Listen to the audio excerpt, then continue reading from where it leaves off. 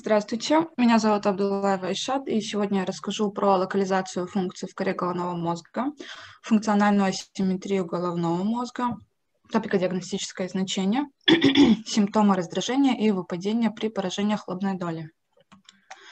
Локализация функций в коре головного мозга.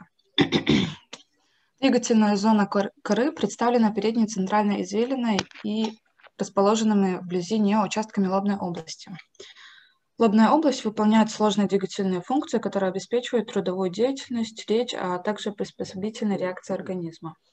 Чувствительная зона представлена в основном задней центральной извилиной. Клетки этой зоны воспринимают импульсы от тактильных, болевых рецепторов, температуры рецепторов кожи.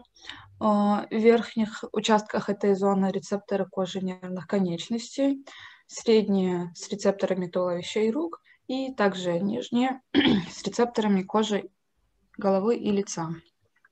Слуховая зона, она локализуется в височных долях коры головного мозга. При поражении этой зоны могут, э, может возникнуть музыкальная и словесная глухота, когда человек слышит, но не понимает значения слов. А двустороннее поражение приводит к полной глухоте. Вкусовая зона – нижняя доля центральной извилины. Поражение приводит к потере или к искажению вкусовых ощущений. Зрительная зона – затылочная доля коры головного мозга обоих полушарий. При поражении этой зоны нарушается зрительная память, ориентация в непривычной обстановке и развивается полная корковая слепота. А, обонятельная зона располагается в передней части грушевидной коры грушевидной доли коры головного мозга. Поражение приводит к понижению или к потере обоняния. Зона речи. В лобной области левого полушария у праворуких располагается моторный центр э, речи. Его еще называют центром Брока. При его повреждении речь затруднена или невозможна. Функциональная асимметрия головного мозга. А, асимметрия мозга, также латеральность, это теория доминирования использования одной стороны парных органов, основанная на различии функций правого и левого полушария головного мозга.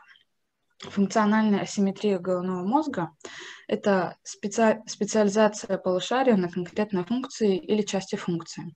Например, память локализована таким образом, что левое полушарие отвечает за вербальную память, а правое – за невербальную. А, три основных свойства, которыми обладает функциональная асимметрия полушарий. Доминирование одного полушария, то есть активация зон одного полушария во время какого-либо типа деятельности.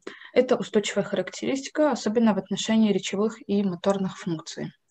Переключаемость подразумевается смена активации полушария при изменениях состояния организма, то есть может быть болезнь, стресс и так далее пластичность, э, когнитивные способности, обусловленные асимметрией, могут изменяться во время обучения или под воздействием других различных факторов.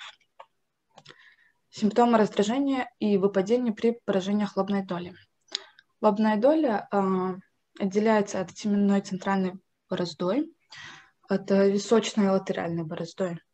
На наружности и поверхности доли различают вертикальную и три горизонтальные извилины – Центральные параличи и порезы возникают при локализации очагов в прецентральной извилине.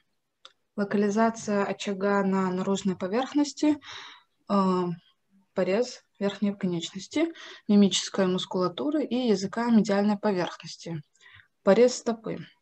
При поражении заднего отдела средней лобной извилины порез взора в противоположную сторону. Экстрапирамидные нарушения – это может быть гипокинез, снижение длительной инициативы, а спонтанность, то есть эм, ограничение мотивации к произвольным действиям. Э, хватательные феномены – это непроизвольное автоматическое, автоматическое схватывание предметов, приложенных к ладони. Рефлексы орального автоматизма – это хоботковый, ладонно-подбородочный, носогубный. Симптом сопротивления. При пассивных э, движениях возникает непроизвольное напряжение мышц антагонистов. Симптом смыкания век. непроизвольное напряжение круговой мышцы глаза со смыканием век при попытке исследующего пассивно поднять верхнее веко больного. Лобная проксия характерна незавершенность действия. Отсутствует критика своих поступков, там, плоским шуткам, это называется мория. Адверсивные припадки, внезапный судорожный поворот головы, глаз и всего тела в противоположную патологическую, а, патологической очагу стороны. Приступы лобного автоматизма, то есть это сложные пароксизмальные психические нарушения, расстройства поведения, при которых безотчетно автоматически совершают координированные движения, которые могут быть опасными, то есть поджоги, убийства и так далее. На этом у меня все. Спасибо за внимание.